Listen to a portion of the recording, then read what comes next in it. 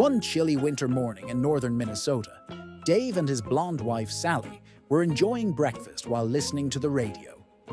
The announcer declared, We're expecting 8 to 10 inches of snow today, so please park your car on the even numbered side of the street so the snowplows can get through. Sally promptly went outside to move her car. A week later, during breakfast, the announcer warned, We're expecting 10 to 12 inches of snow today. Please park your car on the odd numbered side of the street so the snowplows can get through. Once again, Sally dutifully moved her car.